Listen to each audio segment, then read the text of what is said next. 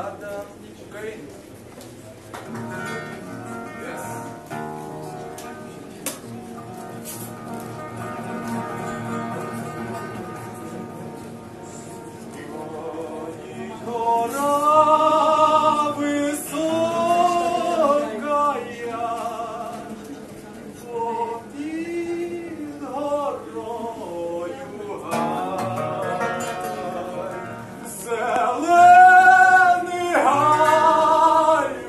Yes.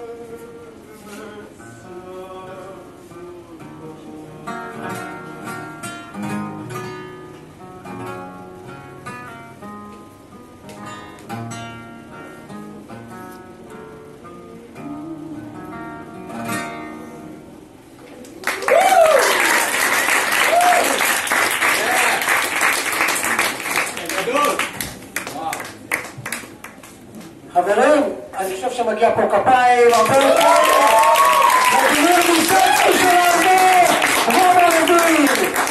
חברים, בימים אלו, כאשר הקפיטליזם החזירי שולט בעולם, אנחנו חייבים להחזיר את הסוציאליזם השפוי. עכשיו בואו תדמיינו, השנה 2037, אין מדינות. התאגידים שולטים בעולם, שולטים לנו על המוח, העולם נשרף, ומי שמובילה את המרד כנגד החשיבה הגלובלית הזאת, הקפיטליסטית, היא להקת פשע, תנו להם כפיים!